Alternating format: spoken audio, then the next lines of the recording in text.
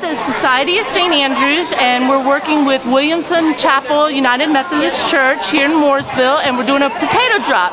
Um, potatoes are donated, and then we have volunteers come in, bag up 10 pounds of potatoes at a time, put them in the trucks, and they get delivered from, from right here to the table of the people that need them in the neighborhood um, tonight. They go to local food banks and different missions within uh, Mecklenburg, Iredell, Rowan County.